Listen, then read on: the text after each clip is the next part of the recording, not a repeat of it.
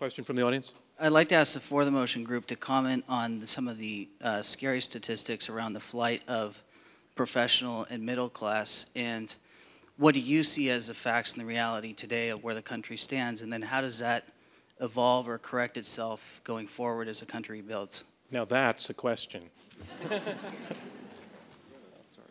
Jack Keane. Uh, Actually, I'm going to start. on- Fred's going to start. oh, I'll- Fred I'll Kagan, his partner, will go first. I, it's interesting. I just had that, this uh, similar conversation with uh, a senior Iraqi uh, military leader uh, last night, in fact, and um, he made a point that the flight of the uh, of the middle class in Iraq and the technocratic class um, began, in fact, with the rise of Saddam, um, when you had a tremendous number of highly educated people flee the country.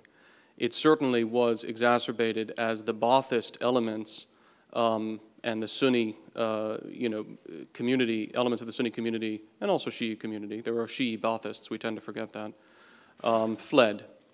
Are those people coming back? On the whole, no, they're not coming back. Will they? It remains to be seen.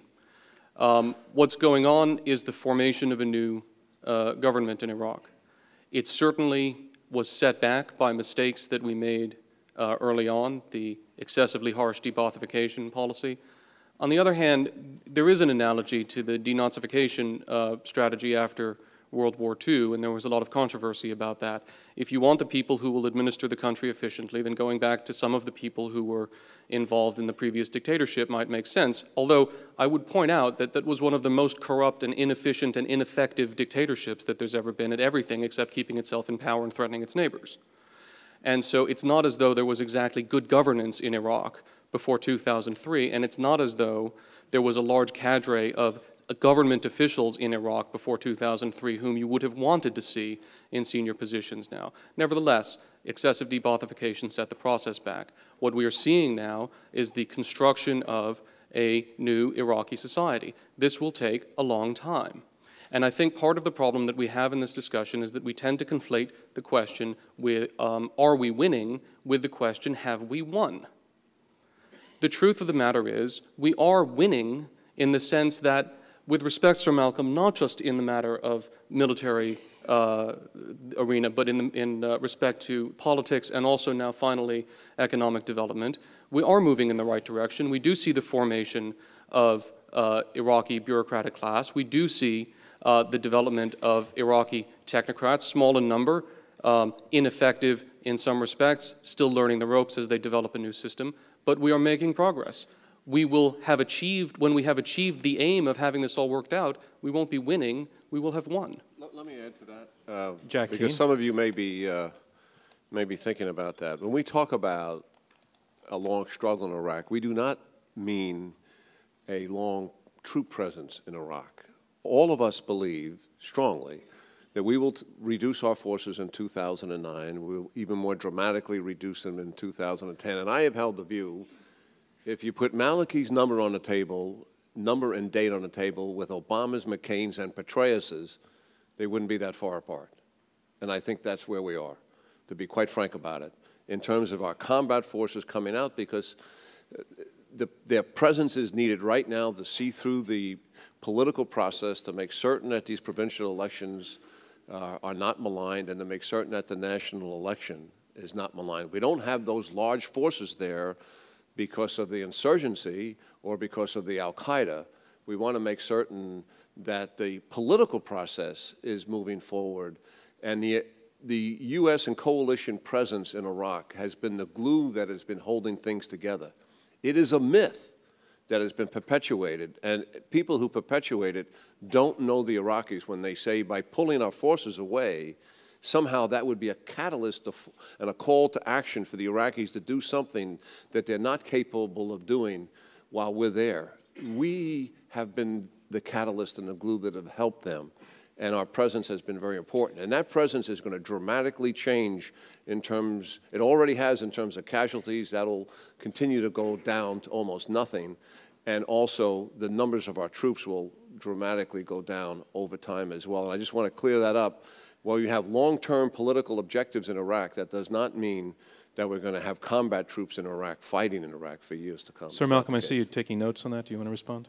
Well, I, I think that there are always going to be good consequences of bad wars, just as there are sometimes bad consequences of good wars.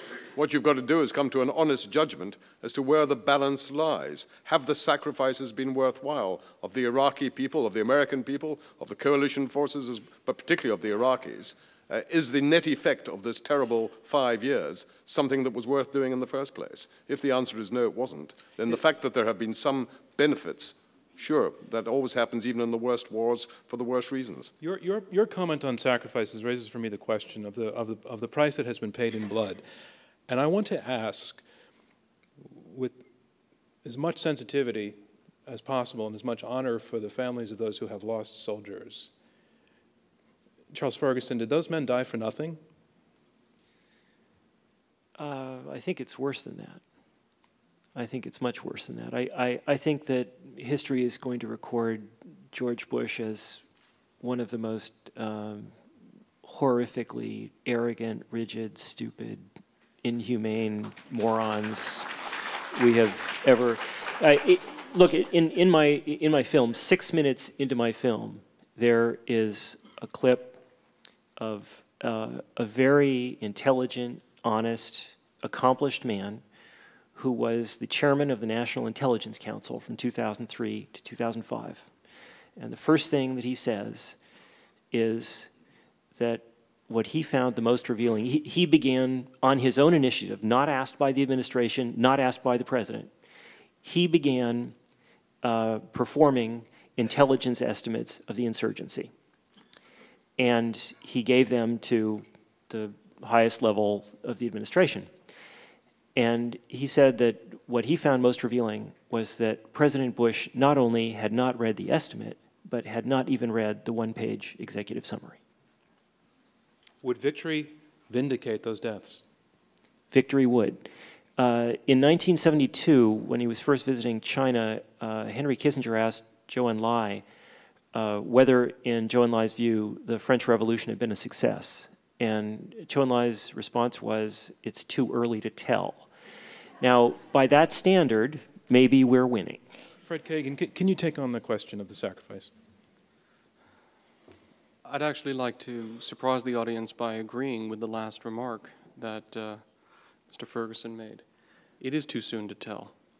Um, if we win the war, then the sacrifice will not have been in vain.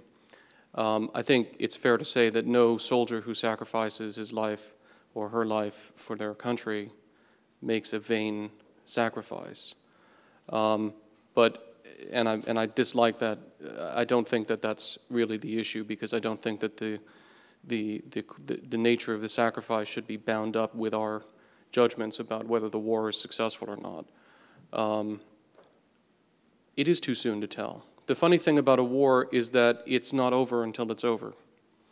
And what seems like a good idea in year one can seem like a very bad idea in year three, can seem like a very good idea in year 10, can seem like a very bad idea in year 50. Um, and that's why you can't make a permanent decision and stamp it in stone as the, those speaking against the motion would basically like to do. They'd like to say this, the, the sunk cost in this war is so high that nothing that could conceivably happen would be worth it. Therefore, the war was a failure and loss. Um, and Bush is a word that I can't use on the air. Um, and the problem is, that's the story doesn't end there. The question is, what will happen in the years to come? And we don't know. Right now, it appears to me that the trends are positive to have quite a profound impact on the Middle East.